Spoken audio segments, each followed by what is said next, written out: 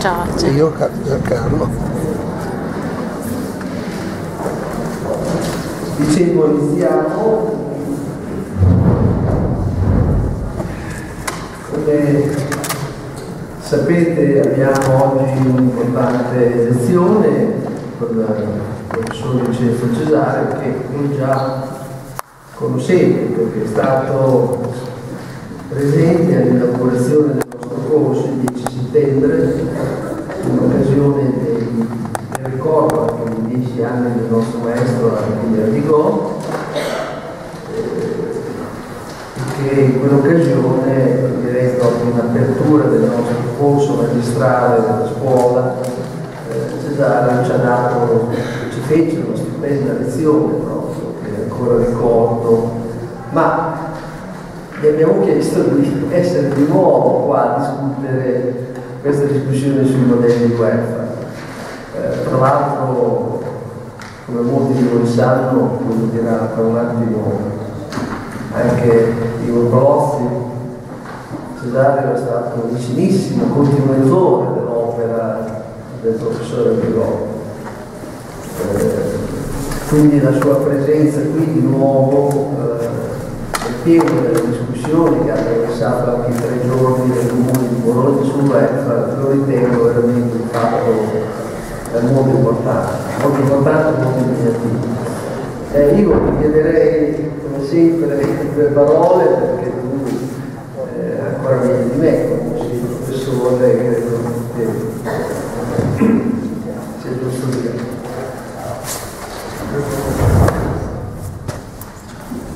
Io sono molto contento di poter ripresentarvi il professor Vincenzo Cesario che è, è stato professore ordinario di sociologia all'Università Cattolica e eh, tuttora membro del Consiglio di amministrazione dell'Associazione Toniolo che è il, il soggetto che appunto gestisce e indirizza la, questa importante università italiana. Il professor Cesario si è occupato di tantissimo nella sua carriera ormai non breve, diciamo,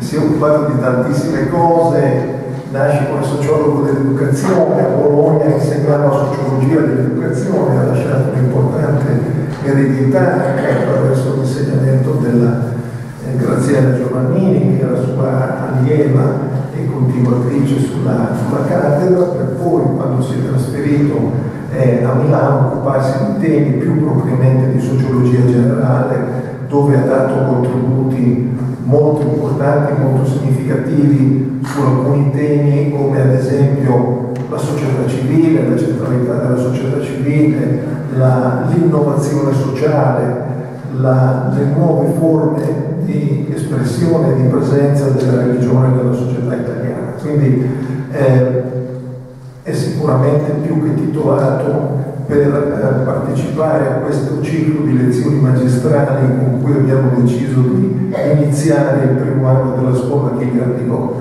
Negli ultimi anni eh, ha scelto, eh, credo in maniera molto, molto eh, responsabile, uso lo stesso aggettivo che costituisce eh, la qualificazione del welfare di cui ci parlerà, di scegliere appunto di occuparsi della tematica del welfare creando un network eh, di persone in un momento in cui questo tema cominciava a diventare un tema residuale, secondario, di scarsa importanza, dove l'unica attenzione era ai tagli, si parlava di welfare solo per, per parlare dei tagli al welfare spesa sociale eccessiva, insostenibile, non più eh, ulteriormente eh, reggibile da parte di un governo, di uno, di uno Stato come l'Italia, con un debito pubblico mostro, eccetera, eccetera.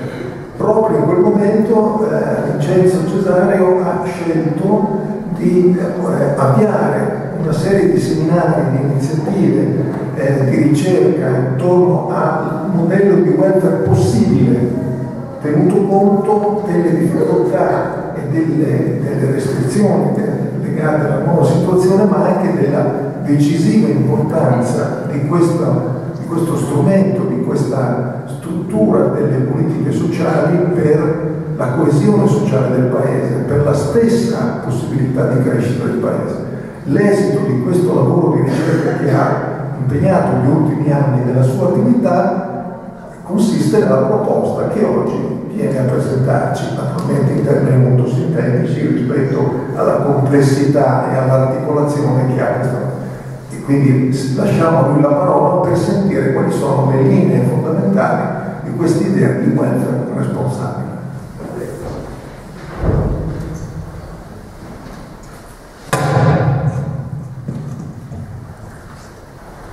Beh, innanzitutto, innanzitutto grazie molto sentito per questo invito, sperando di non essere troppo noioso e ripetitivo perché gli amici organizzatori hanno già coinvolto i precedenti eventi a cui ho partecipato con molto piacere e spero oggi di dire se riesco qualcosa in più di diverso da quello che ho detto nelle volte precedenti. Eh, scorso il programma, questa iniziativa che reputo molto importante e utile soprattutto in un momento come quello che stiamo attraversando e eh, ho colto con quanto impegno sia stato già finora affrontato il tema del welfare esaminando, prendendo in considerazione una serie di proposte di grande valore, di grande significato, spero anche di grande utilità, e tutto questo cogliendo e individuando anche quelle che sono state, sono tuttora delle diverse prospettive con cui affrontare il futuro del web. Adesso io ne aggiungerò un'altra, ne aggiungerò un'altra di queste ipotesi, non, non oso chiamarlo, dico subito, non oso chiamarlo un modello, eh? una proposta, una proposta che non è ancora conclusa del tutto, ma adesso come illustrerò anche il percorso che stiamo facendo, è una proposta molto aperta noi sfruttiamo tutte le occasioni come queste o altre proprio per raccogliere anche da chi è venuto a ascoltare, a parlare, a discutere anche delle indicazioni e dei suggerimenti. Questa è una proposta forte, aperta e penso che rimarrà in larga misura tale anche se ormai stiamo cercando di chiudere il cerchio e di precisarla. Ma ripeto senza, poi lo cercherò di spiegare, senza proporre un modello, perché abbiamo già tutti modelli molto interessanti, utili, abbiamo cercato invece, stiamo cercando di fare una proposta che non ha la velleità di porsi come un modello molto organico, ma che possa in qualche modo con una certa flessibilità essere applicata anche alla realtà d'oggi senza eh, comportare delle modifiche, non dico a livello della, della, Costituzione italiana ma nemmeno della, della normativa vigente, cioè cercare di individuare un percorso che ci può aiutare ad affrontare questa questione ecco, senza ricorrere a modifiche legislative perché sappiamo tutti che quando si proponono le riforme legislative si ferma tutto. Poi nella sostanza proponiamo anche delle possibili modifiche, ma quello che mi preme sottolineare è che la nostra proposta tende a essere, se possibile, operativa già oggi senza intervenire sul piano amministrativo, con l'auspicio evidentemente norme possono essere modificate o altre introdotte. E il tema che mi è stato, eh, è stato attribuito, eh, welfare, responsabilità e centralità della persona, è stato scelto, non so da chi, ma mi sembra molto bene, è stato imposto, ma gradevolmente imposto, perché è proprio la sintesi eh, di quello che è un po' il discorso che stiamo tentando di fare. Ecco, questi tre concetti, eh, welfare, responsabilità e centralità della persona, proprio cercando di cogliere uno stretto nesso che possiamo individuare, valorizzare, declinare anche operativamente in merito a come mettere insieme un welfare che sia responsabile e abbia come suo centro di attenzione la persona. E non è a caso questo, perché come cercherò di dire, eh, la persona comporta, porre al centro la persona comporta una serie di conseguenze puntuali, precise, importanti sotto il profilo della stessa costruzione del welfare. Allora, questa proposta che stato ricordato prima da, dall'amico Ivo Colozzi, è nata, sta nascendo eh, da un gruppo di ricerca che è composto da studiosi di diverse discipline, prevalentemente sociologi, ma non solo sociologi, perché ritengo, riteniamo tutti che un tema come questo richieda la collaborazione, l'impegno, la partecipazione di competenze diverse che devono concorrere no, con la loro specificità disciplinare, metodologica, eccetera, a costruire questa stessa proposta. Dicevo, adesso siamo arrivati a una rete di 11 atenei e dico anche subito che abbiamo voluto adottare nel affrontare questa avventura, eh, adottare un metodo induttivo nel nostro lavoro, cioè non partire da un modello costruito ad hoc o condiviso o preso da altri, ma proprio per cercare di stare per piedi per terra, di eh, partire da un'analisi di quello che concretamente è la situazione attuale, per poter costruire un qualcosa che parta da lì, e che non parta invece da un modello magari bellissimo ma che rischia di essere astratto se poi si cala, si cala nella realtà. Cioè non abbiamo voluto assumere una opzione subito in partenza, non abbiamo voluto assumere un modello, ma prendendo le mosse proprio da quella che è la situazione attuale del, del welfare nel nostro paese. È stata porta un'analisi molto credo approfondita eh, su questo tema a livello nazionale e internazionale, soprattutto europeo, perché non dobbiamo mai dimenticarci che eh, il welfare europeo è e deve, mi auguro, rimanere un pilastro della nostra Europa. Quindi un riferimento costante a questo credo che sia opportuno sempre averlo.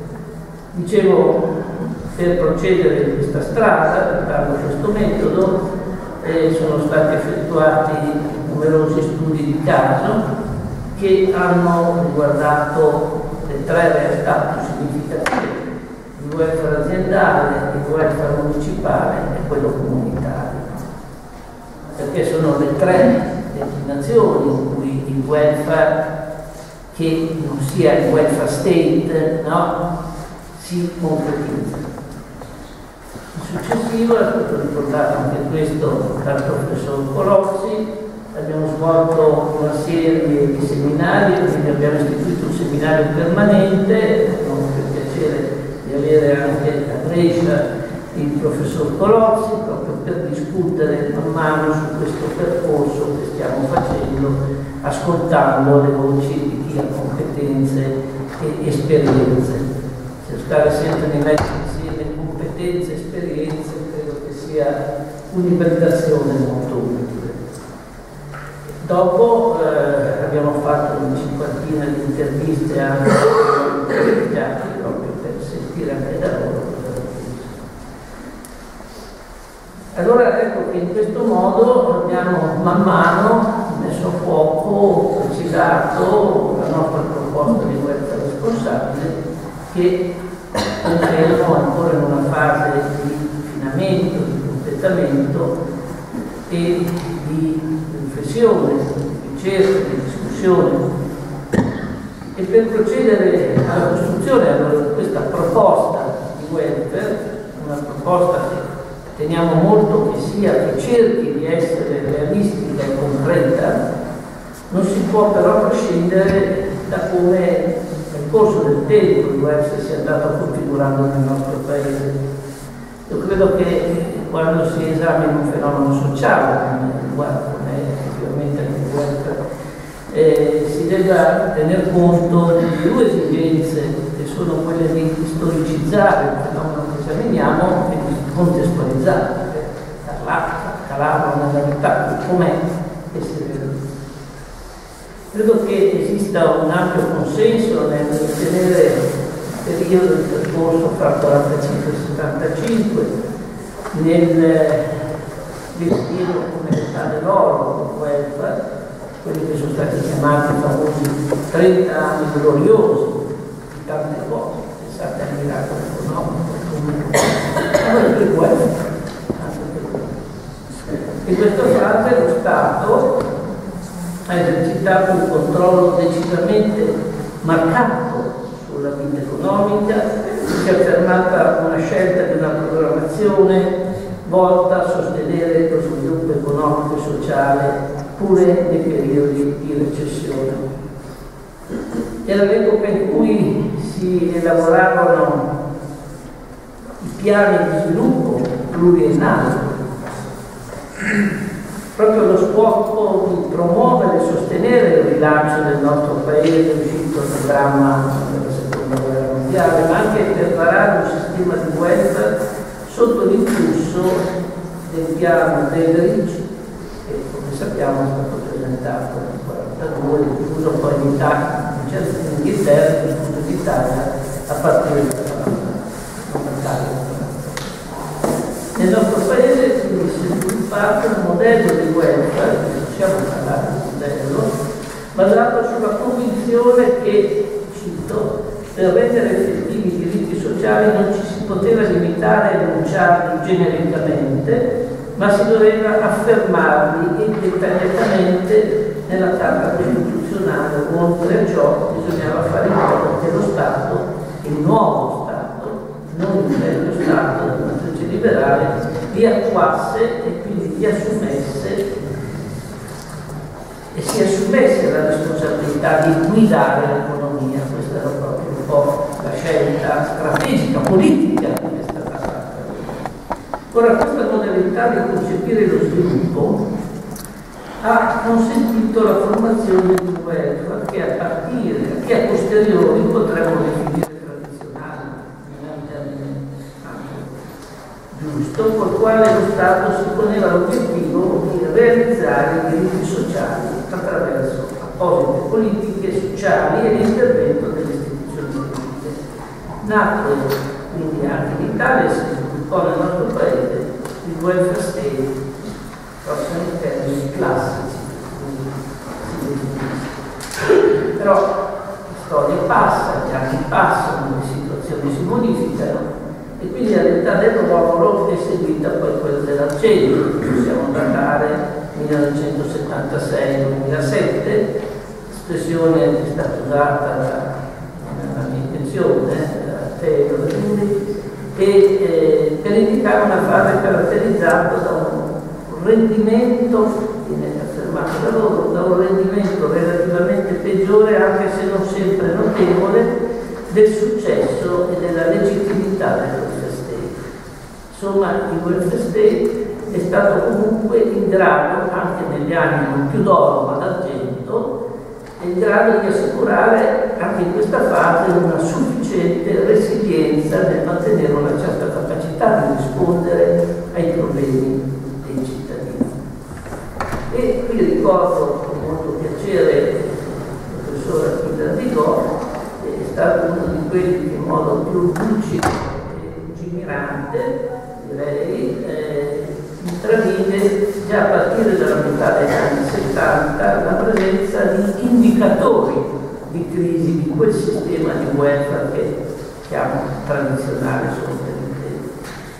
L'azione dello Stato è erogatore che ridistribuisce le risorse direttamente ai cittadini o tramite le sue destinazioni territoriali si dimostrava infatti, allora cominciava a dimostrarsi, sempre meno in grado di raggiungere i propri scopi, volti a assicurare benessere e scaricava di fatto una certa misura, una certa misura crescente direi, direi sulle famiglie parte dei costi dell'assistenza stessa, gravando queste ultime, cioè le famiglie, di crescenti carichi di cura e di assistenza. Ora di questa crisi vanno sottolineati almeno due indicatori. Il primo, che possiamo considerare endogeno al welfare state stesso, è rappresentato dalla sclerosi indotta dal burocratismo e dal particolarismo corporativo.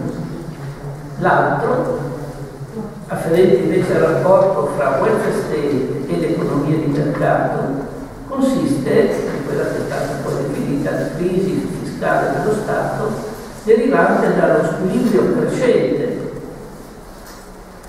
tra prelievo fiscale e spese per la protezione sociale. E allora vedete, il combinato disposto di queste due crisi strutturali provocava una varietà di effetti e anche di reazioni che vanno tenute presente se si vuole comprendere proprio il processo storico e pluridicennale che ha condotto negli anni 70 alla costruzione, all'individuazione e altro e anche fatto la costruzione di un nuovo sistema di welfare nel quale il terzo settore fa da protagonista. E proprio negli anni 70 del secolo scorso il terzo settore aveva raggiunto una visibilità, ma anche una legittimità sociale e culturale nuove perché? Perché si accreditava come una modalità di soluzione delle sopravvenute inadeguatezze e insufficienze del welfare state. E secondo un'opinione diffusa, questo deficit si inquadrava, con Habermas, in una più generale crisi di razionalità della formatura, che a sua volta si polarizzava su entrambi i suoi pilastri, lo Stato e il mercato, e comportava una contraddizione del regime di protezione sociale. Il terzo settore ha quindi rappresentato una risposta in quegli anni emergenti, in quegli anni denunciando la logica burocratica che tanto nella versione massimalista dei regimi dominati dallo Stato gestore, quanto nella versione minimalista dello Stato minimo, residuale regimi dominati dal mercato, comprimevano la discrezionalità degli attori sociali e nello stesso tempo ne aumentavano la dipendenza. Il terzo settore, enfatizzando l'esigenza di una significativa deburocratizzazione, ha svolto quindi una funzione rilevante nell'evidenziare alcuni limiti del presente. Enfatizzando l'esigenza di una significativa democratizzazione e in primo luogo tenendo scarsamente in conto, scusate, perché il terzo perché lo Stato, il welfare state, ha tenuto scarsamente in conto dell'esistenza di uno Stato sociale, di uno spazio sociale occupato da una pluralità di soggetti attivi. In secondo luogo, la prevalente volontà delle amministrazioni svolte da questi soggetti. In terzo luogo, lo Stato ha trascurato la crescente esigenza, l'esigenza che diventava sempre più diffusa e crescente di personalizzare l'erogazione dei servizi. E allora poi il crack economico del 2007 ha condotto all'attuale tale bronzo, se possiamo dire attuale, dai connotati fattori incerti che induce non poche preoccupazioni sulla capacità di mantenere e rinforzare quel benessere sociale che nonostante il persistere della criticità si era consolidato nella seconda metà del secolo scorso. E a questo riguardo occorre prendere atto che attualmente lo Stato ha sempre più difficoltà ad assicurare un welfare assoluto capace di affrontare non solo i rischi sociali, quindi sanità, disoccupazione, pensione, che sono diciamo così, il retaggio della società industriale, ma anche i nuovi rischi sociali. Pensiamo alla conciliazione delle famiglie, la sfida delle tecnologie, la formazione ricorrente, l'aumento delle patologie cronico-degenerative connesse con l'invecchiamento della popolazione. E c'è inoltre ragione di ritenere che nel nostro paese, ma non solo, evidentemente nel nostro paese, sia tuttora diffuso un ritardo culturale, mi permette di insistere su questo, che ha delle implicazioni dirette e indirette anche sul sistema di guerra. Più precisamente, almeno mi avviso, questo ritardo consiste nel continuare a assumere più o meno esplicitamente come riferimento la società del passato e quindi di modellare ancora, di insistere pervicacemente a modellare il welfare basato su quella realtà del passato. Ecco perché è importante sempre storicizzare e contestualizzare che non prendiamo in considerazione.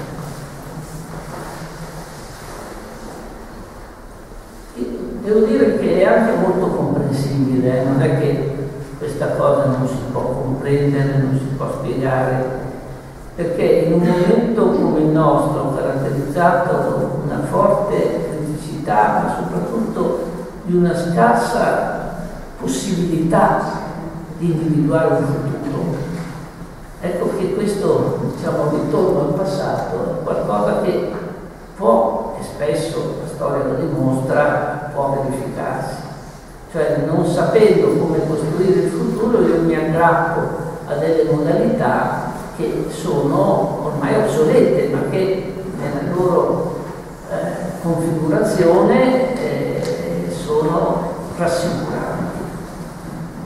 Faccio solo un esempio. Eh, pensate, noi continuiamo oggi a ragionare in termini di eh, assicurare a tutti un posto fisso per tutta la vita del bambino. No? È una bellissima cosa, ma questo era tipico di un certo tipo di società. Oggi è molto difficile, quindi dobbiamo fare un grosso sforzo per individuare nuovi lavori, nuove occupazioni, nuove professioni e quindi questo è il modo per affrontare futuro, con tutte le difficoltà che questo comporta, ma non possiamo cullarci una uh, speranza di ricostruire, di rivivere come nel passato. Oltre però diciamo, al ritardo culturale, eh, che ripeto però ha una sua giustificazione e comprensione, l'altro elemento che mi preoccupa e preme evidenziare è l'assistenzialismo, è alimentato da interventi pubblici finalizzati a offrire posti di lavoro, spesso diciamo pure inutili, in quanto non corrispondenti alla realtà e alle necessità del Paese. Pensiamo al caso di certe strutture burocratiche pubbliche che richiederebbero invece di essere ridimensionate anche a seguito delle opportunità offerte dalle nuove tecnologie. Un'altra iniziativa problematica da questo punto di vista è quella dell'utilizzo dei sussidi che possono produrre un ritorno positivo in termini di consenso per chi li propone, ma possono anche contribuire a rafforzare l'assistenzialismo se non sono vincolate a specifici doveri o a svolgere determinate attività da parte dei destinatari nei confronti dei quali esercitare un sistematico e puntuale controllo. Un altro indicatore che mi preoccupa, sempre in termini di assistenzialismo, lo si riscontra, e mi spiace molto riscontrarlo, ma per onestà intellettuale non dette le cose, sull'utilizzo a volte scorretto delle leggi, non, non corretto delle leggi. Vediamo, faccio un esempio solo, una legge per me personalmente molto valida e socialmente da, da, da impugnare, che è quella eh, 104, modificata con il 2000, il 2010, il 2011, è una normativa utilissima.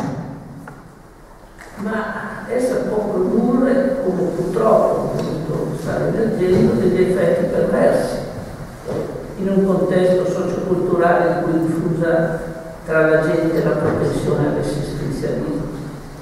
Basta vedere le cronache, purtroppo. Eh? Quindi una legge ottima, a mio avviso, eh?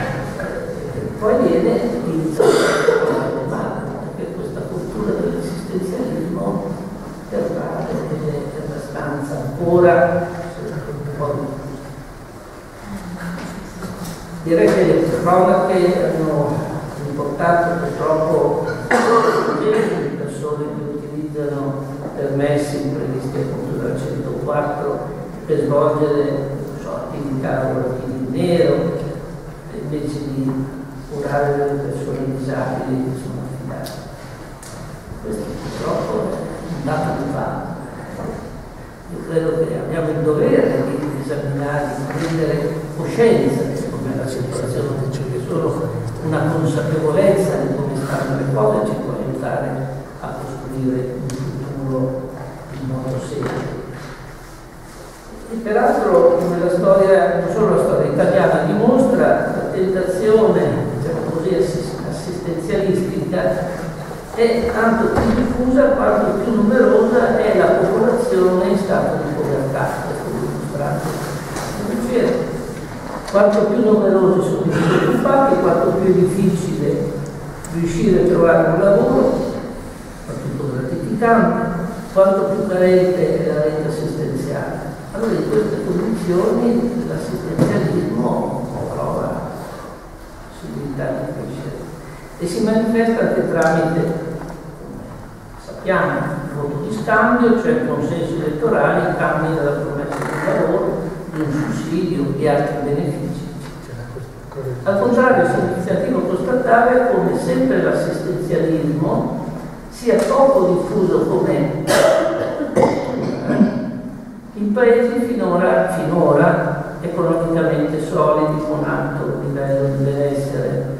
Abbiamo visto che in Svezia e in Danimarca pochissimo diffusa questa cultura, ma perché sono poche le persone che si sentono di ricorrere a queste forme, non ce n'è bisogno.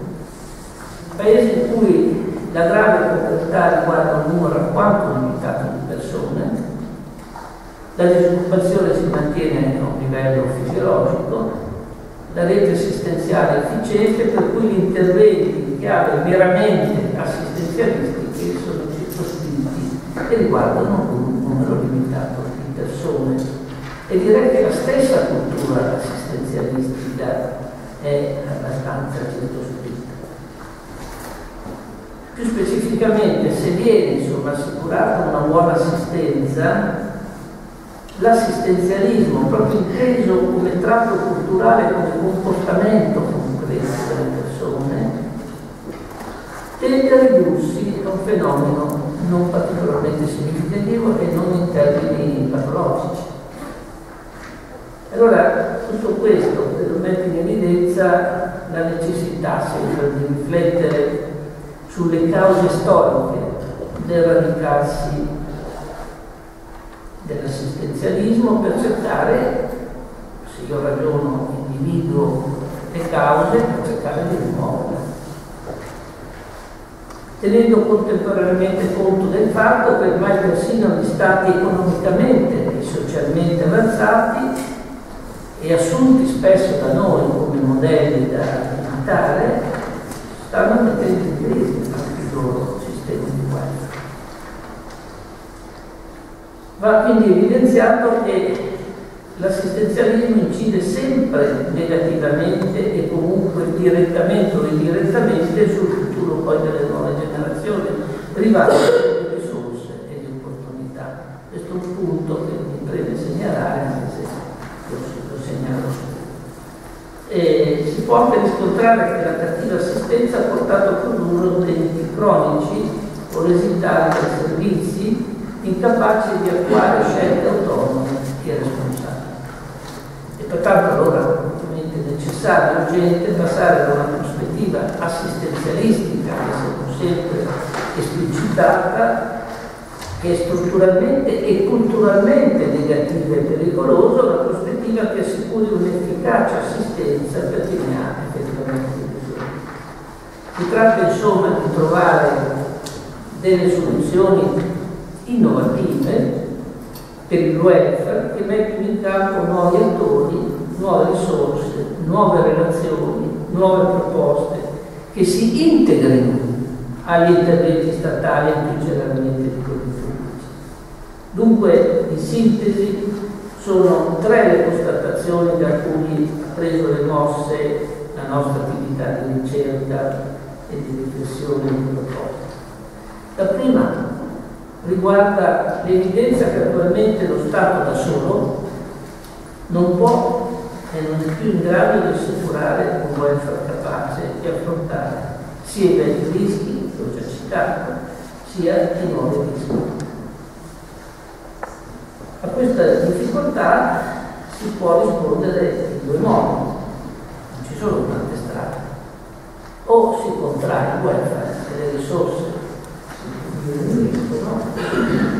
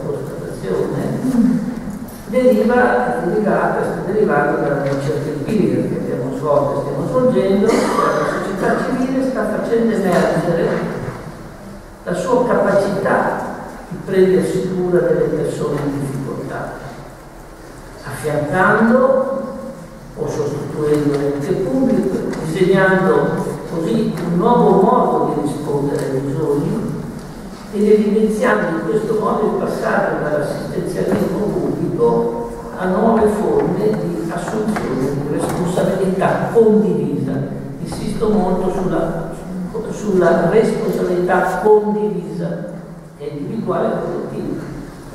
Terza constatazione, che peraltro connessa alla precedente, è il fatto che accanto al permanere di un ritardo culturale prima, che consiste a continuare ad assumere dei modelli che non sono più utilizzabili.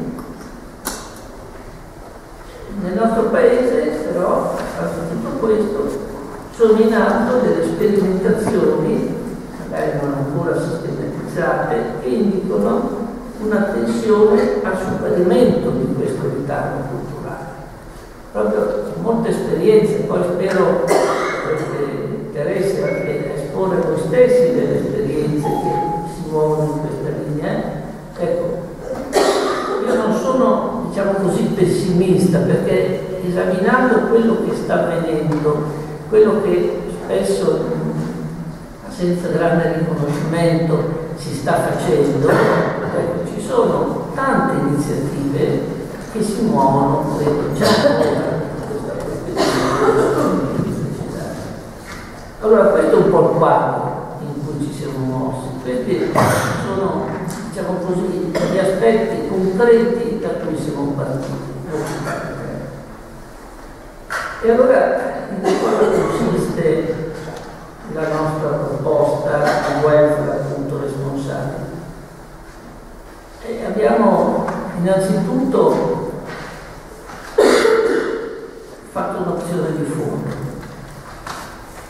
Abbiamo detto, detto prima che siamo partiti decidendo insieme di adottare un approccio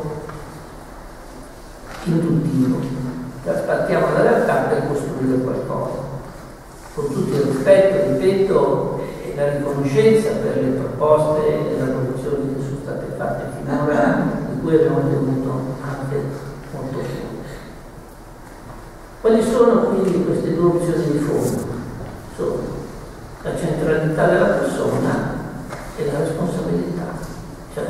Riteniamo, questo discorso che nasce da un lavoro che ho fatto in precedenza, che ha riguardato la libertà responsabile, che poi abbiamo declinato, cercato di declinare a livello di guerra. Allora, innanzitutto, quindi è una, adottiamo questo metodo, ma qui per onestà intellettuale, esplicitando che noi comunque non siamo neutrali, assumiamo questi due elementi come fondamentali per costruire un sistema. Centralità della persona. E qui scusate, prende a distinguere cosa vuol dire dal punto di vista sociologico, non filosofico, ci sono. Cosa vuol dire porre al centro la persona e non l'individuo. L'individuo è astratto e generale, nel senso che astrae l'essere umano dal suo contesto relazionale e lo considera colto nella sua generalità, cioè uno dei tanti. Sono dei numeri, gli sono dei numeri, utilissimi anche per la statistica, eh? ma non nella sua unicità. Di conseguenza, per il concetto di individuo sono analiticamente rilevanti con le differenze di storia e di cultura con cui ogni epoca e ogni società declinano la costante diciamo, antropologica di cui gli esseri umani danno origine dell'uomo. Il concetto invece sociologico di persona è invece concreto e particolare poiché dell'essere umano considera la sua qualità esistenziale concepita come entità unica, identificata nella sua storia, nei suoi legami sociali, di conseguenza strutturalmente aperta alle relazioni con l'altro e al riconoscimento reciproco, al riconoscimento reciproco, che è implicito questa stessa apertura. La persona quindi è sempre e necessariamente di divenire intrinsecamente e congiuntamente storica e relazionale per il fatto di essere inseriti in un contesto temporale e di natura sociale e culturale. In sintesi, si diventa persona soltanto se si è all'interno di un rapporto di puntualità. Questo l'ha detto tutto dal 1990. In particolare il termine persona implica ai nostri fini due campi di significato analiticamente distinti ma fenomenologicamente connessi, la singolarità e la relazionalità. La persona è singola ma in relazione. E nella dialettica che peraltro c'è tra queste due dimensioni dell'essere umano, la persona viene a situarsi come soggetto assolutamente unico, sorgente del dinamismo personale che finalizza se stesso il rapporto con l'esteriorità e insieme si autodestina all'altro, stabilendo con l'altro un rapporto di reciprocità solidaria. Ed è allora nell'unità di queste relazioni, nella loro reciproca interazione, che la persona si manifesta come soggetto libero e consapevole della propria storia, posta sulla frontiera fra interiorità e esteriorità, in grado di saltare, di saldare in unità profonda questi due campi. E per l'appunto questa dimensione che si esprime l'homo civitus, che io ho messo a poco, concepito quale attivo protagonista del proprio sviluppo, della propria crescita, ma anche dello sviluppo e della crescita della comunità di fa parte. Ecco allora che coerentemente con questa prima opzione di fondo, la presa di distanza da qualsiasi modello assistenzialistico di welfare basato sul primato dell'offerta standardizzata e anonima che appare non solo sempre meno sostenibile in termini economici, come ho visto prima, ma anche incapace di cogliere e valorizzare l'unicità e la relazionalità della persona. L'opzione qui assunta va invece nella direzione di un welfare che promuove le risorse personali e di rete dei soggetti, nonché di assunzione di responsabilità nei confronti della propria e della altrui condizione. Ci muoviamo allora eh, in una prospettiva che intende valorizzare e implementare la responsabilità delle singole persone, persone e non individui, per renderle attive protagonisti della produzione del proprio benessere, delle proprie relazioni, della propria comunità, ma anche quali soggetti almeno in qualche misura delle stesse politiche di guerra, soggetti delle politiche di guerra, soggetti, non solo oggetti. Porre al centro non l'individuo ma la persona nella completezza del corso della sua intera esistenza comporta quindi di includere a pieno titolo nel welfare elementi, questo mi prego sottolinearlo, come quello relativo alla formazione finora scarsamente, spesso ambiguamente, ambiguamente inserita nel discorso del welfare. Pensiamo all'educazione, ai problemi ambientali, l'abitazione, eccetera. Eh, la stessa educazione, eh, che ha una sua specificità, specificità indubbia, ma la stessa educazione ha degli aspetti che non possono essere disgiunti dal welfare. Quindi in una prospettiva di questo genere, che pone al centro la persona nel corso della vita, eh, una qualche parte del discorso formativo va ricondotto e considerato all'interno del welfare. Allarghiamo il discorso del welfare a questi aspetti che finora sono un po' borderline, un pochino ci sono dentro, un pochino no. Invece credo che proprio nel cercare di mettere a punto questa prospettiva di welfare sia necessario invece esplicitare questo tipo di scelta. La seconda opzione di fondo è quella della responsabilità da parte dei diversi soggetti che sono chiamati a produrre benessere, gli attori pubblici locali, quelli del mercato, quelli del terzo settore, le reti informali costituiscono una filiera entro cui è condivisa la responsabilità della persona del benessere per i cittadini della comunità. Tutti costoro dunque di fatto sono welfare, tutti costoro sono welfare. Pertanto è richiesto loro di sviluppare competenze nella progettazione, nella programmazione, nella gestione delle politiche in maniera integrata.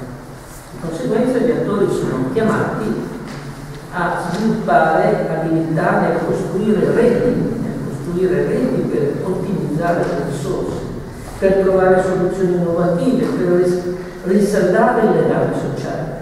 Il conseguimento di queste, di queste finalità richiede flessibilità e riflessibilità.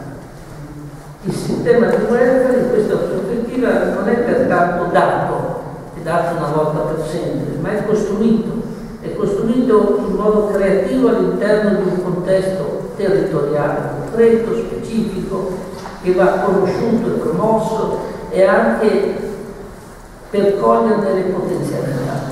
Guardate, i nostri territori, sotto questo profilo, da quello che stiamo scoprendo, hanno delle potenzialità enormi che non sono utilizzate, che non sono valorizzate, che non sono messe insieme.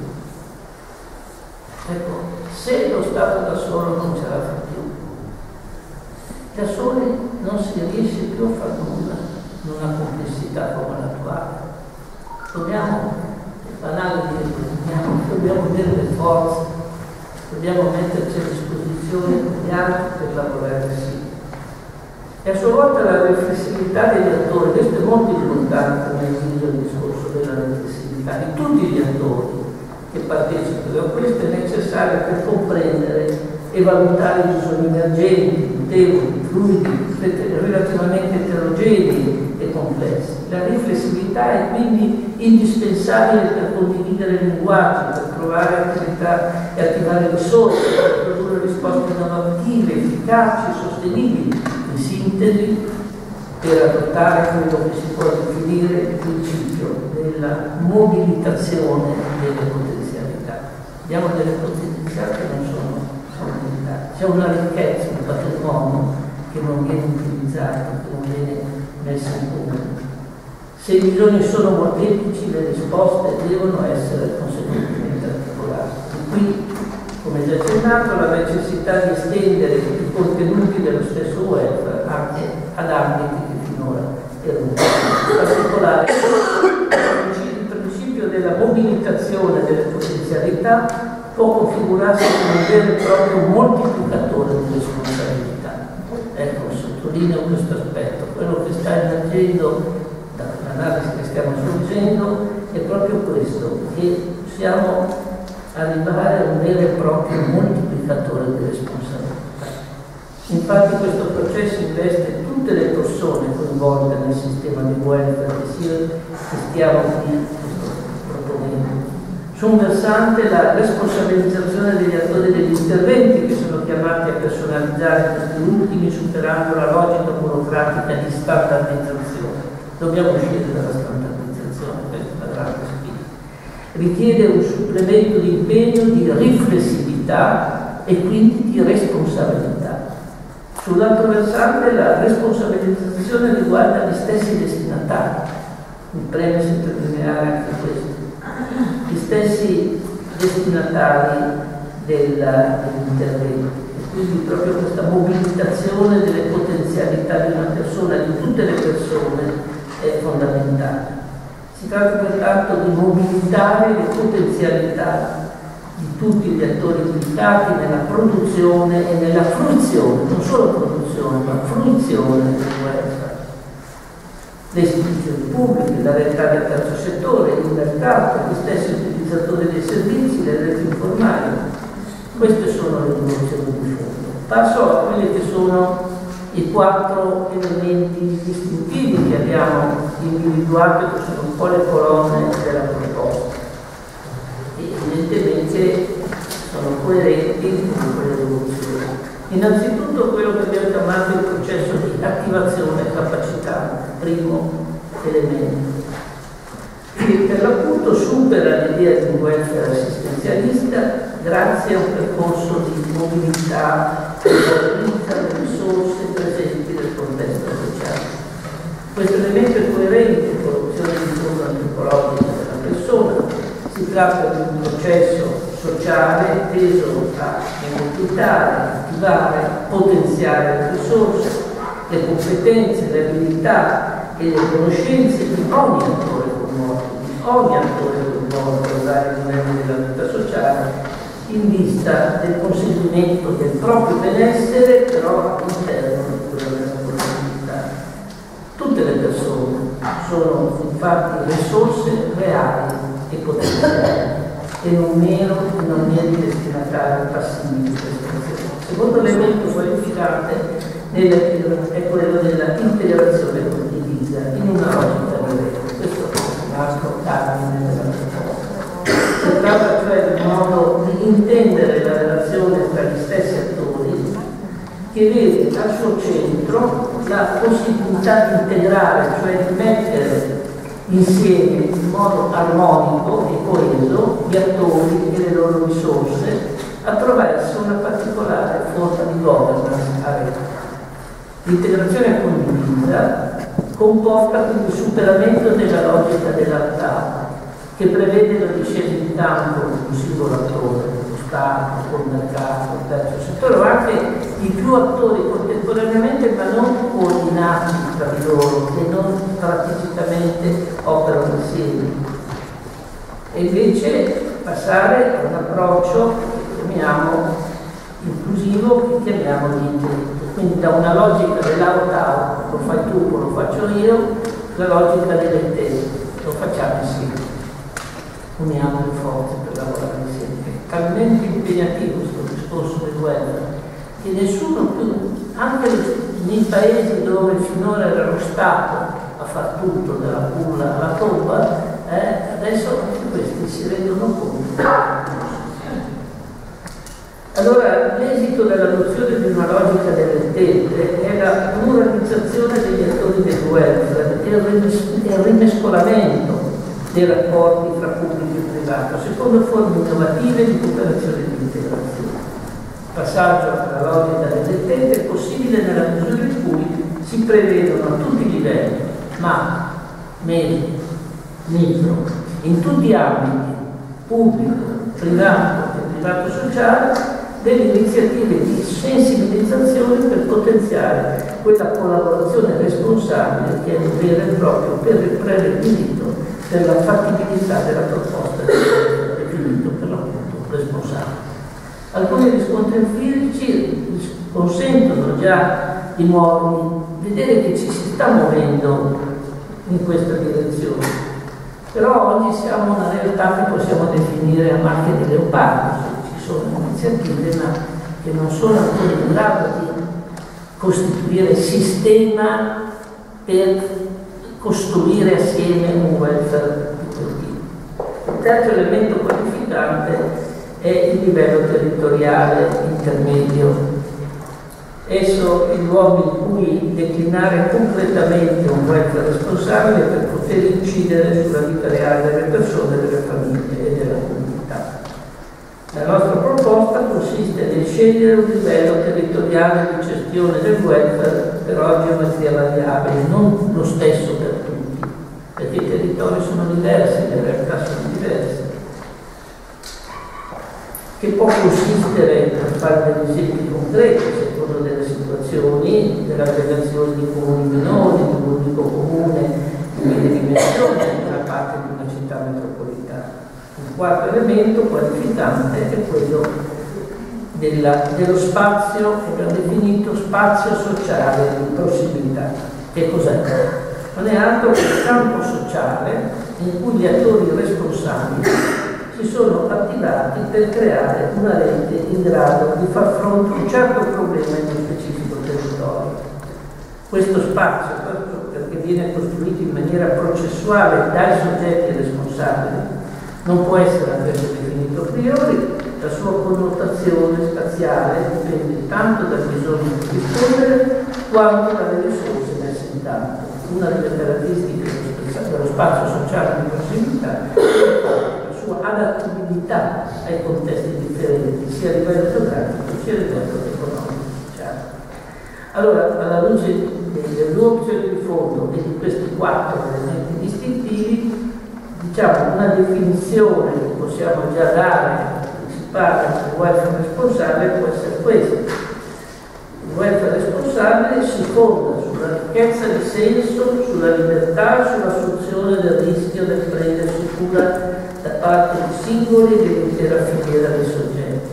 Secondo, si realizza attivando e coordinando molteplici attori, regola delle tempo, presenti sul territorio, territorializzazione, per costruire uno spazio sociale di prossimità. Personalizza gli interventi mediante la capacitazione. Totta infine una particolare forma di governance particolare e una regolamentazione finalizzata a produrre benessere per le persone. Welfare responsabile, nei termini che ho appena detto, necessita, come una parte ho già sottolineato, di una significativa riflessività nei diversi attori. Si tratta di una riflessività intenzionale qualificata sia dall'autonomia di scelta associata alla responsabilità, perché attenzione, la responsabilità è legata alla libertà. Se non ho libertà è difficile agire in modo responsabile. Quindi c'è un nesso fra libertà, responsabilità e solidarietà questi sono tre elementi che vanno tenuti presenti congiuntamente. La capacità riflessiva degli attori, individuali e collettive, porta infatti a cambiare modelli di intervento standardizzati e a progettare e riprogettare sulla base di un'attenta analisi delle domande e delle risorse disponibili. Gli operatori hanno contatto diretto con i beneficiari, si destreggiano fra i vincoli e contingenze per perseguire un continuo adattamento efficace ed efficiente in presenza di sfide e risorse sempre nuove. Allora, definito, scusate la brevità, la sinteticità, veramente complicato, definito il welfare responsabile, vediamo come si può procedere a, a, a un, come si può vedere come si, come si costruisce questa cosa. Vediamo, ecco, qui ci sono dei disegnini che potete eh, brevemente, sinteticamente cogliere, spero che si veda abbastanza. Allora, come vedete, eh, innanzitutto c'è un problema in un certo territorio. C'è un problema sono vari soggetti che possono affrontarlo, ma come vedete agiscono in ordine spazio. Cosa succede? Che occorre che uno degli attori che sono sul territorio, non necessariamente un ente pubblico, può essere un ente pubblico, può essere un gruppo di volontari, eccetera, questo soggetto, essere individuale, collettivo, un soggetto, si prende cura di porre il problema e di cominciare a creare una rete, qui tipo 1. Poi arriviamo al tempo successivo dove si sta costruendo una rete, si decidisce come affrontare quel problema e del gruppo iniziale alcuni condividono questo progetto e quindi ne fanno parte, alcuni vedete due escono perché non lo condividono. Vedete che la rete è ancora tratteggiata perché non è ancora definita. Infine nell'ultimo disegnino vedete come invece la rete si costituisce, si parte ed è appunto questa realtà. In conclusione, per realizzare quindi il welfare responsabile occorre uno rivitalizzare i luoghi della programmazione, soprattutto in ambito locale, nella strategia nostra è il livello meso, quello che deve fare da fulcro. Non vuol dire che la responsabilità non sia anche degli altri livelli, tutti gli altri aspetti non siano degli altri livelli, ma il fulcro è lì. Poi è bene che questi aspetti irradiano no? In tutti gli altri, a livello macro e a livello micro, ma noi riteniamo che sia il fulcro. Secondo poi eh, principio che è quello della rivatizzazione, della ripresa diciamo, del rilievo della, dei, dei corpi intermedi. Se vogliamo usare un termine che oggi è un po' demodè, ma che invece noi riteniamo che sia fondamentale. Secondo, dotare le reti di strumenti consentono di individuare in modo sempre più puntuale le priorità e i cambiamenti, sia adottando pratiche, sia che esistono già, sia invece inventarne di nuovo. Importante infine incentivare lo sviluppo di logiche di governance locale che danno rilievo al concetto di responsabilità nella definizione del benessere sociale condiviso per tutti gli attori. Attraverso il riconoscimento di una crescente autonomia lo sviluppo di processi partecipativi si favorisce l'elaborazione di una visione comune, si stimola la riflessività individuale e collettiva, si evidenzia il bisogno di una rigorosa valutazione. Concludo sottolineando e riconoscendo l'importanza che eh, la dimensione culturale è centrale nella nostra proposta.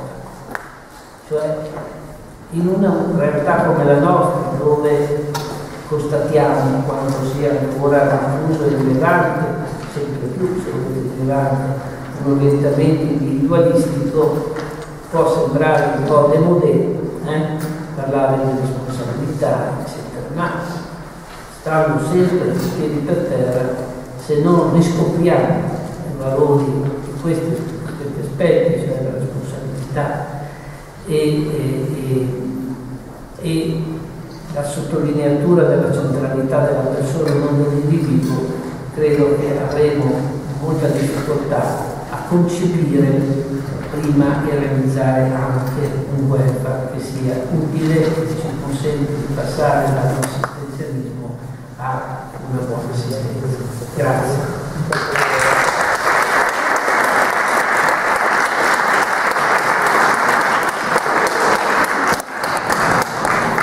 ringraziamo il professor Cesario, come sempre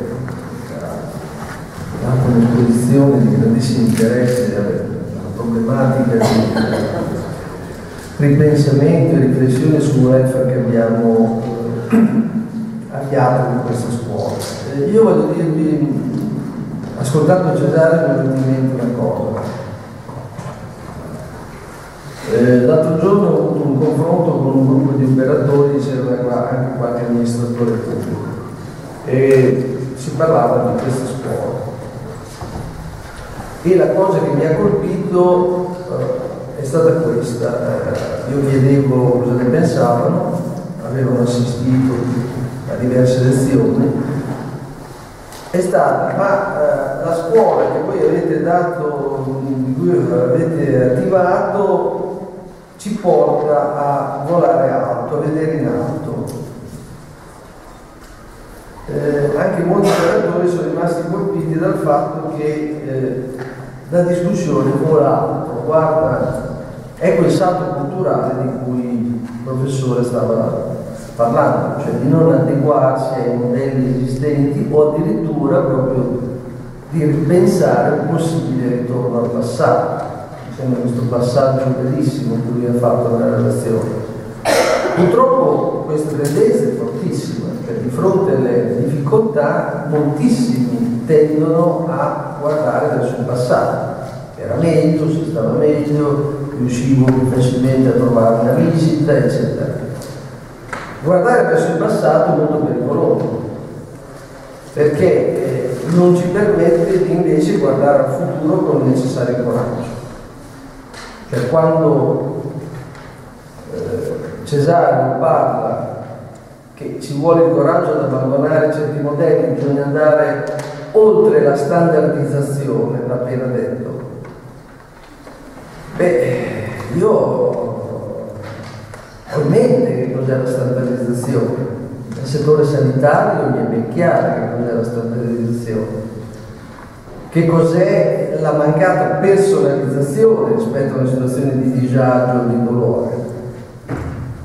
Quindi la relazione che qui Vincenzo Cesare ci ha portato indubbiamente ci aiuta a volare alto, ma volare alto non vuol dire volare sopra i problemi, sopra le cose, vuol dire essere estremamente concreti, perché l'unico modo, io detto questo dalla tua relazione, è l'unico modo per affrontare una situazione che rischia di essere estremamente pericolosa per lo sviluppo del welfare e quindi dello Stato sociale in generale, perché il welfare non è solo quello assistenziale.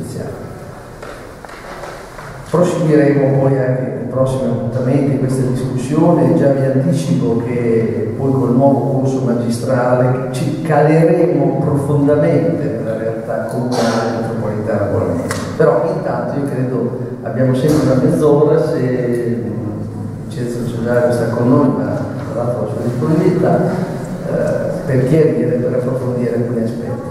Chi vuole, come sempre, è meno... Eh?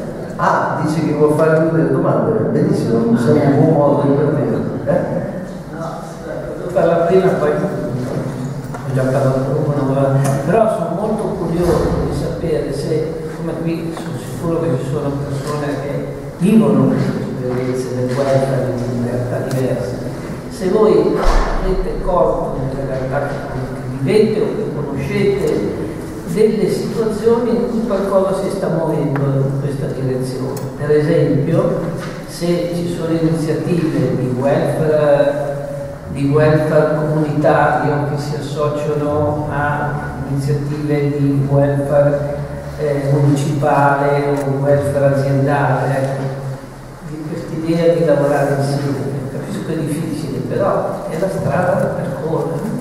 Scusate, era solo per per, per, una mia curiosità. Chi vuole iniziare? Prego. Francesca.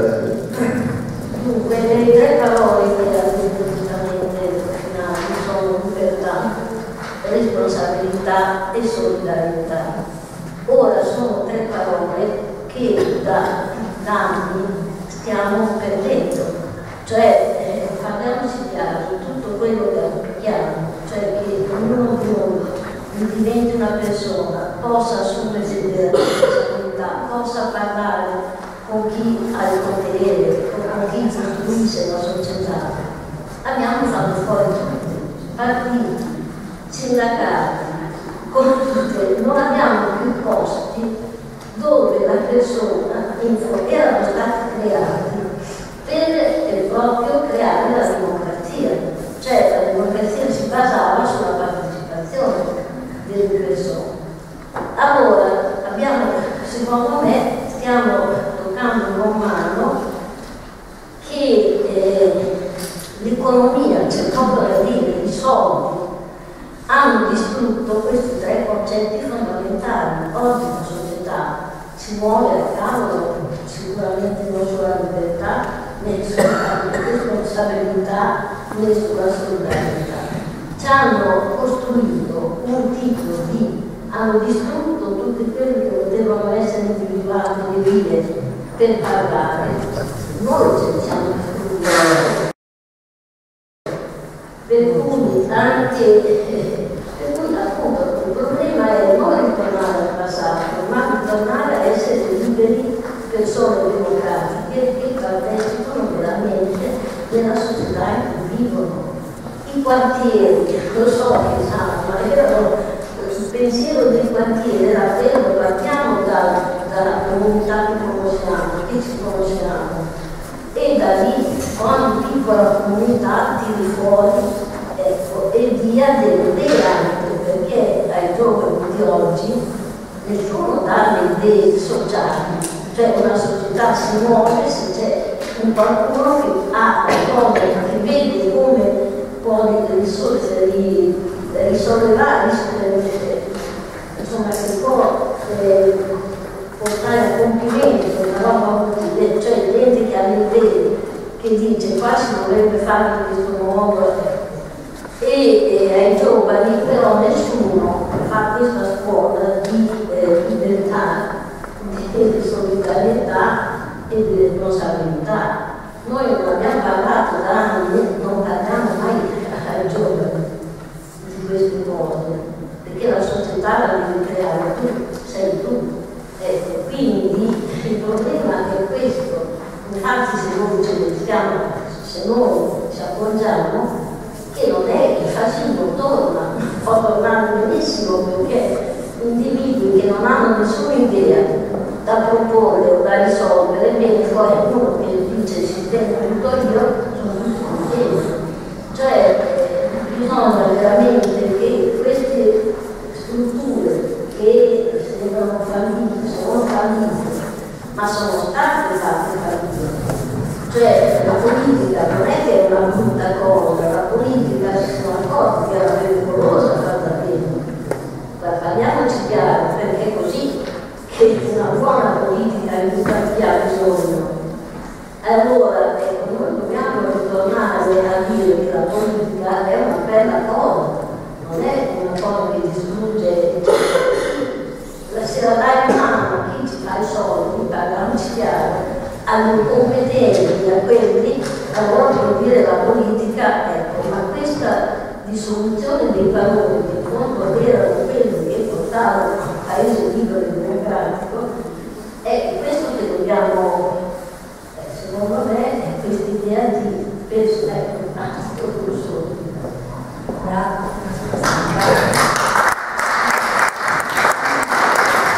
Dopo farà un intervento di risposta in chiusura il professore. Prego.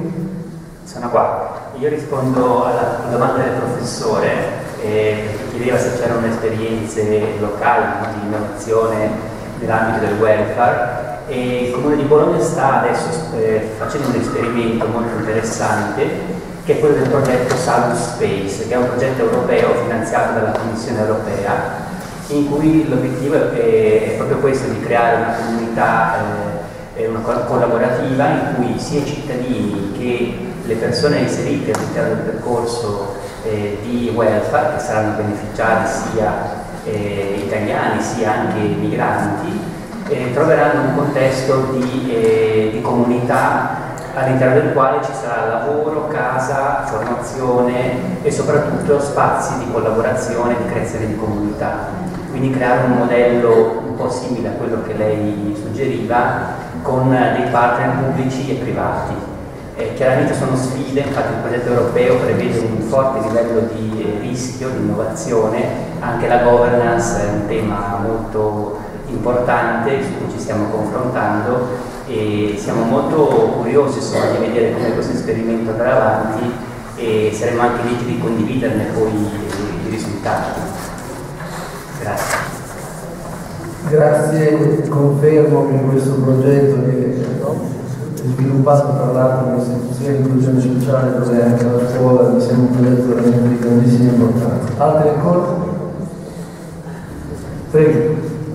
Me professore ci sono anche interventi, interventi minori rispetto a quelli elencati adesso, fatti dai quartieri che chiedono proprio delle reti per lo sviluppo di comunità anche l'USL propone dei progetti, eh, faccio parte di uno per esempio, in cui ci sono eh, sviluppo per, ehm, per, per, creare una rete che si occupi sia degli anziani fragili, sia dei leader giovani, sia del genere, delle donne, dell'accesso alle cure.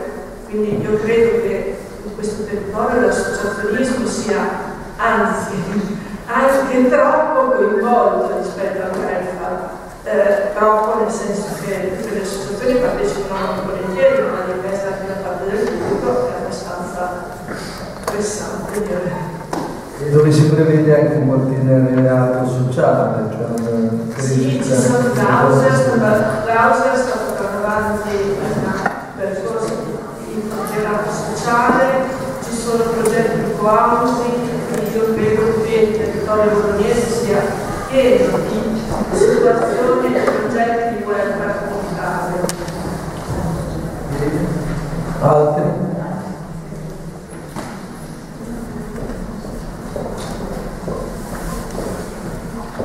Dino Cocchianella, sempre istituzione, eh, volevo citare molti la conoscono all'interno di un'altra esperienza che va avanti da oramai eh, 5 anni, che è l'esperienza del progetto Casa Zanardi, che eh, è partita appunto da una coprogettazione, da un avviso pubblico fatto dall'amministrazione comunale, quindi una partenza da welfare municipale che ha chiamato a raccolta con proposte progettuali un po' tutto il terzo settore in un'accezione molto allargata, cioè associazioni, cooperative sociali, eh, enti religiosi, sia cattolici che per esempio valdesi, eh, enti sociali giovanili, insomma un, un'aggregazione di oltre 100 soggetti che hanno progettato insieme per quattro mesi, hanno dato vita poi a 12 eh, progetti collegati tra di loro, diciamo, cui quelli ancora resistenti e,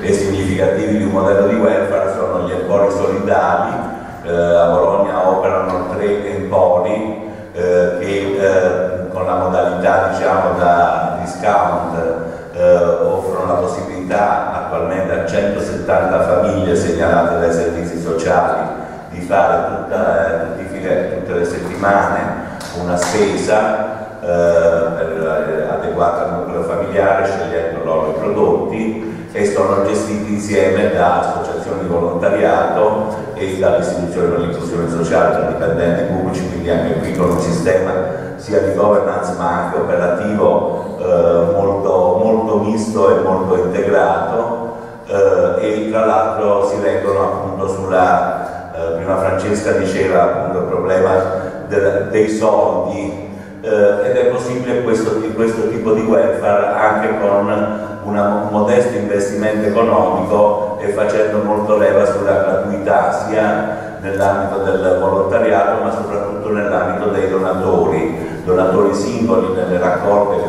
facciamo 3-4 volte all'anno davanti a, ai centri commerciali, ai supermercati e anche donazioni di aziende, ricorso al banco alimentare, eh, movimentando diciamo, negli anni 50-60 mila euro eh, di valore economico di beni e eh, tonnellate di prodotti che vengono distribuiti alle famiglie. A questo si affianca anche la distribuzione di frutta e verdura settimanale a 30 associazioni eh, che sono i prodotti UE, quelli che dovrebbero essere destinati al macero, che vengono ridistribuiti anche qui in un'ottica di gratuità e anche di recupero dello spreco. E affiancato agli, agli EPOL ci sono una serie di altri servizi eh, che servono appunto per accompagnare le famiglie, agli EPOL si viene ammesso per massimo un anno, quindi sono concepiti appunto come luoghi di eh, sostegno, ma anche un sostegno che a sua volta vuole suscitare capacitazione dei nuclei familiari, quindi ci sono degli sportelli di orientamento al lavoro, di informazione, di supporto che a loro volta generano corsi di formazione eh, per le persone appunto, che cercano lavoro e che usufruiscono degli empori, generano laboratori artigianali, eh, generano anche piccole nuove imprese tipo la start-up fatta da Mondodonna che si occupa di immigrazione eh, che ha lanciato una casa di moda che si chiama mia moda che si chiama Social Chic e, ed altre cose comunque interessanti possono essere trovate sul sito dell'istituzione per l'inclusione sociale. Grazie, grazie Dino, eh, sono progetti veramente di grandissimo interesse. Sentiamo ancora? Sembra che la discussione ha portato in luce nel mondo ma tantissime altre se non ci sono altri interventi farei una domanda anch'io al professore. Cioè qui è dalla, dalla, sollecitazione che tu hai fatto ma potremmo portare avanti molto questa discussione. Hai visto che immediatamente esiste un fermento ce ne sono tantissime, le ultime che sono state descritte di grandissimo interesse alcune le ho anche seguite, ho visitato direttamente queste esperienze. Però la domanda che ti voglio fare è questa. Eh, cresceranno possono crescere tantissime esperienze come queste con un fortissimo coinvolgimento sociale, terzo settore, volontariato, iniziative anche aziendali, eccetera e abbiamo tutto l'interesse che questo fermento diventa sistema a livello. Però nello stesso tempo il welfare è un grande settore statalizzato e anche il business. E sappiamo che questo resterà per tanti aspetti. Io penso ad esempio eh, ai 9 miliardi che si spendono in sanità in Emilia Romagna, un settore con 50.000 dipendenti, un, un pezzo enorme dello Stato, fortemente statalizzato penso alle nuove iniziative di business delle grandi compagnie, dei, eh, degli operatori che si stanno spostando a livello assicurativo, ma non solo assicurativo nel campo. Come vedi la presenza di questi due mondi? Perché se questi due mondi restano separati, addirittura in contrapposizione, l'uno non riuscirà mai a eliminare l'altro.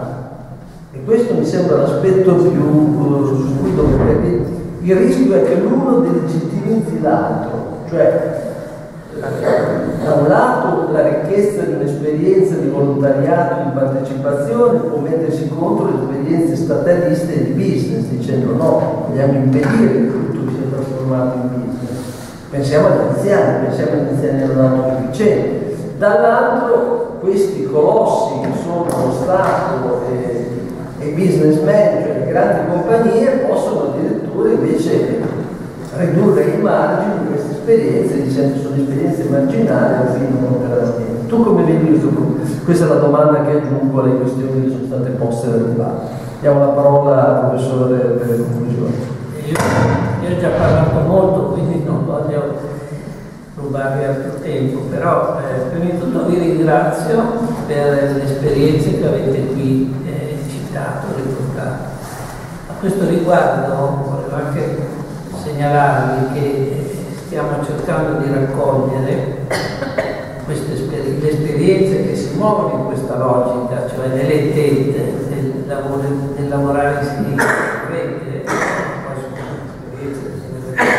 dove c'è convergenza parziale più o meno, più o meno rilevante fra welfare, welfare aziendale e welfare eh,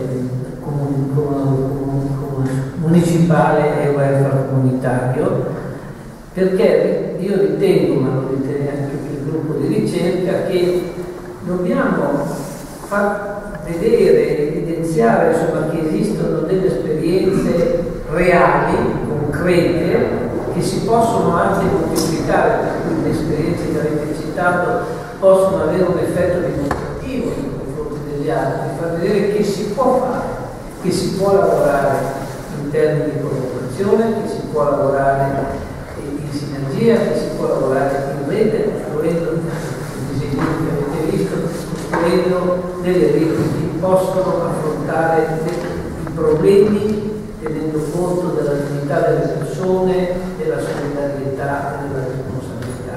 Non sono cose che auspichiamo solo, certo le auspichiamo, ma che ci sono. Ecco allora che io mi sono permesso di fare quella domanda e vi ringrazio di quelle esperienze che forse non sono le uniche che avete segnalato. Perché?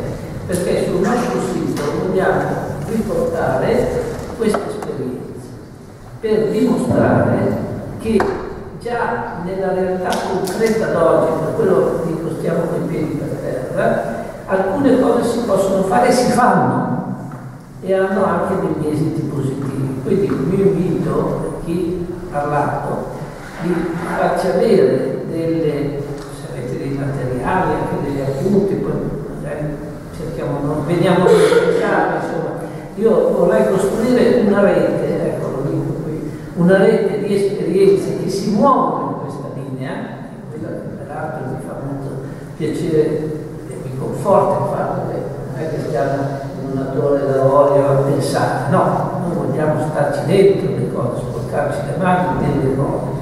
Ecco, quindi se potete, ecco, io sarei molto grato che sia venuto anche altri, di comunicarci, noi abbiamo un sito che è www eh, welfare responsabile, tutta una che stiamo avviando, eh, lo lanceremo, c'è già, già in funzione ma un po' carbonaro però, eh, ma eh, il 23 ottobre faremo questo primo convegno nazionale che non a caso abbiamo intitolato ha per tema eh, welfare responsabile e i protagonisti della società civile, perché è lì che noi puntiamo non perché devono lavorare da soli, perché proprio per quello che diceva prima anche la nostra cara amica, eh, questi elementi a cui credo tutti noi desideriamo che vengano valorizzati, cioè la, la, la libertà, la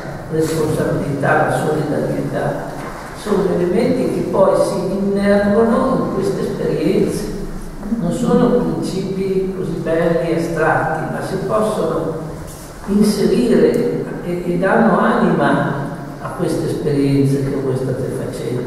Ecco, allora dimostriamo che si possono fare le cose, facciamole, mettiamole in mostra, perché io mi ero occupato tanto tempo fa anche molto di volontariato e abbiamo fatto diverse ricerche sul volontariato, però vedevamo che questo volontariato, che, che è una ricchezza meravigliosa, è poco conosciuto, perché lavora in silenzio, non, non si mette in vista, no? Nel nostro mondo adesso tutto, uno fa una piccola cosa, non la vende nei saponi.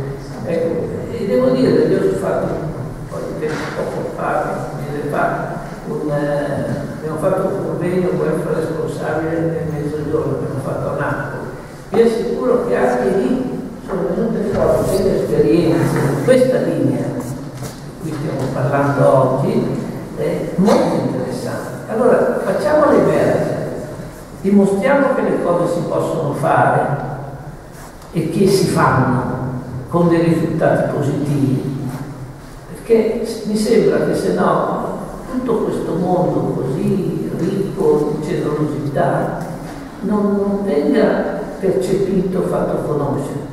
Siamo una piccola cosa, no? però il nostro compito adesso, che abbiamo fatto la proposta, è di avviare questo lavoro di valorizzazione di queste esperienze, diciamolo così se riusciamo, per dimostrare che c'è qualcosa che già si sta facendo in questa direzione in termini con risultati anche molto positivi. Quindi se avete esperienze ce le comunicate, poi troveremo modo di comunicarci e, e vedere come metterlo sul sito e valorizzare, così in modo che quando il 23 ottobre faremo questa presentazione eh, ci sarà anche modo di trovare la modalità di presentare anche queste esperienze.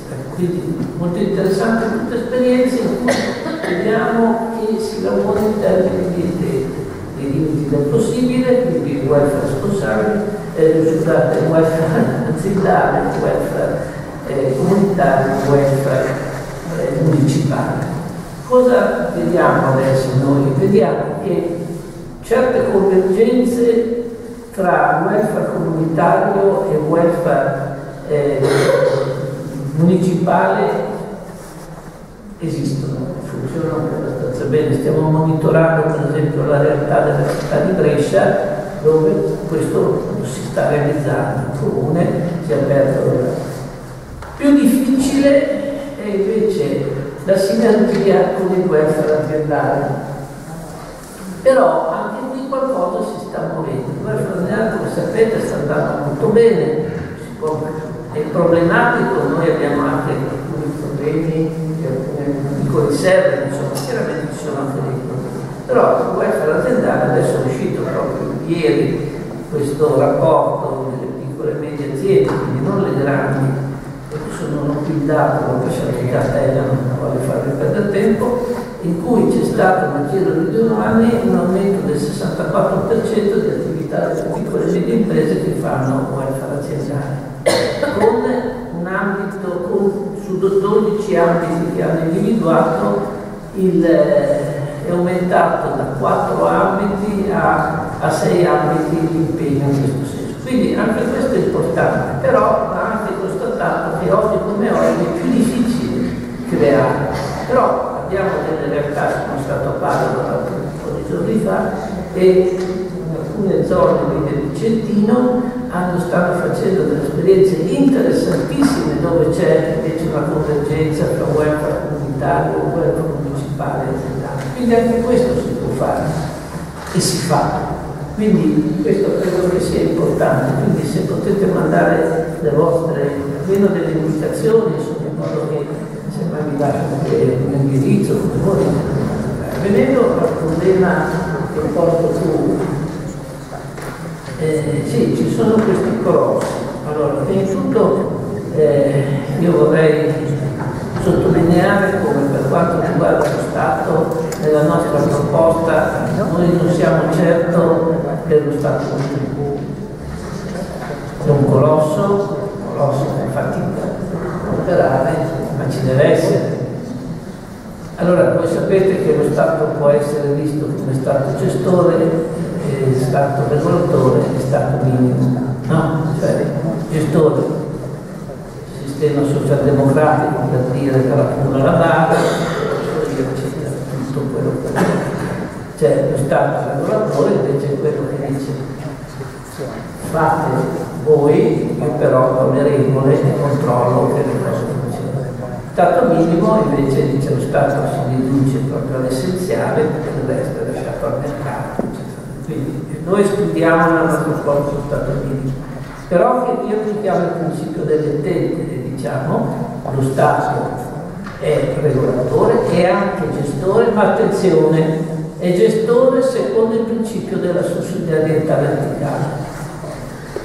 Quindi non è una visione statalista la nostra, eh, ma dove comunque riserviamo allo Stato un po' di importanza, sia gestore gli altri non possono fare, sia sensato per loro Quindi questa è la prima distinzione. Quindi l'importanza dello Stato. Non è che noi vogliamo ridurre lo Stato alla difesa e alla politica estera. Ovviamente nel campo del welfare ci sono delle cose che deve fare lo Stato.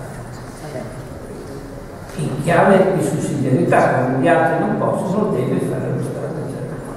Per quanto riguarda invece questi colossi eh, qui è più difficile, no? è difficile anche per perché chi ha potere difficilmente e chi lo sta acquistando eh, difficilmente rinuncia a questo processo di espansione.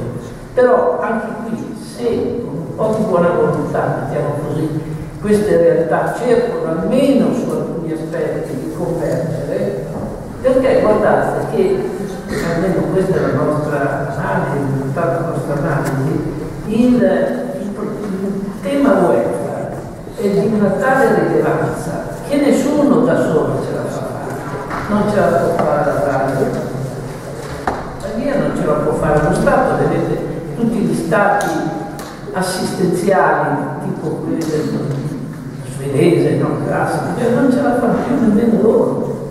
Perché? Perché le risorse diminuiscono, le esigenze aumentano, perché la gente chiede di più, cosa fare?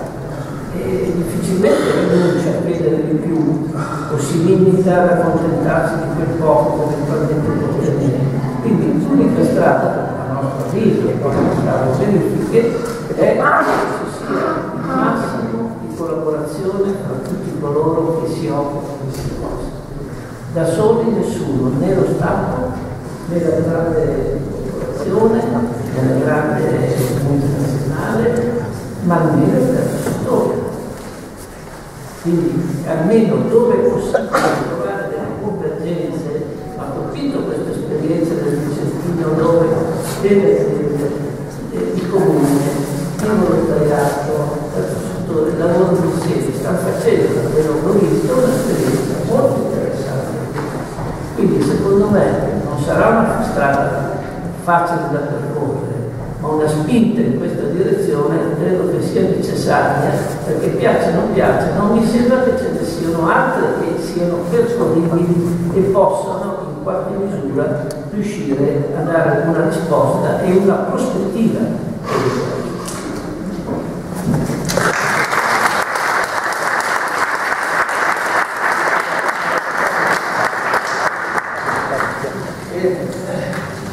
Ringraziamo il professor Cesario per questa bellissima lezione. Vi ricordo che il prossimo appuntamento non è il 10 come in agenda, ma è stato spostato al 17. Quindi siamo di nuovo qua il 17 aprile. Grazie della partecipazione.